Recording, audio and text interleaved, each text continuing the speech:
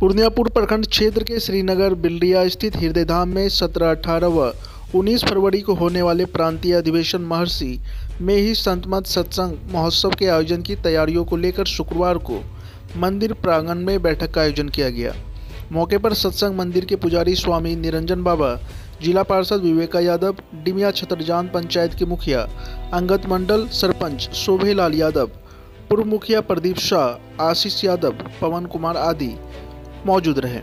वहीं कार्यक्रम की जानकारी देते हुए स्वामी निरंजन बाबा ने बताया कि प्रांतीय संतमत सत्संग अधिवेशन को लेकर तैयारी अंतिम चरण पर है, जिसमें महर्षि में ही ब्रह्मा विद्यापीठ, हरिद्वार, उत्तराखंड से स्वामी व्यासानंद जी महाराज सहित अन्य संत महात्मा का आगमन होगा। वहीं पंचायत के मुखिया अंगत मंडल ने बताया कि प्रांतीय अधिवेशन संत मत सत्संग को लेकर मत सत्संग कमेटी के सभी सदस्य विधि व्यवस्था को लेकर काफ़ी सजग है।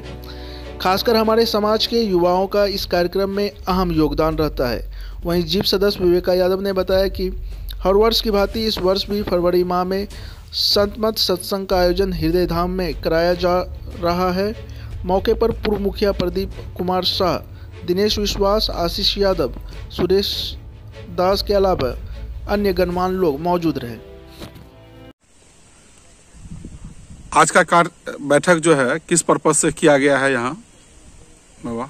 आगे सत्रह अठारह उन्नीस फरवरी को बिहार प्रांतीय सत्संग होना निश्चित हुआ है जिसमें हरिद्वार से पूज्यपात स्वामी व्यासानंद जी महाराज का पदार्पण हो रहा है। इसी हेतु आज आम सभा की बैठक रखी गई है। तो इसमें कौन कौन पधार रहे हैं? बाबा के साथ पूज्यपात बाबा तो आएँगे और संत महात्मा पधार रहे हैं। और अगल बगल के जो हमारे वरिष्ठ लोग हैं पदाधिकारी सब हैं अनेक संभावना है। क्या यह सत्संग जो हो, हो रहा है ये हर साल यहाँ पर आयोजन होता है? हाँ ये गत 2011 ईस्वी से होते आ रहा है। अच्छा। और कोई आयोजन में किस प्रकार का विधि व्यवस्था है आपके यहाँ पर? यहाँ विधि व्यवस्था जैसे कि अभी कुछ कोरोना काल भी चल रहा है। हम्म, उनकी विधि व्यवस्था रहेगी जगह जगह पर सैनिटाइज की व्यवस्था होने की संभावना है। मास्क लगा करके लोग बैठेंगे ऐसा सुविधा दिया जाएगा।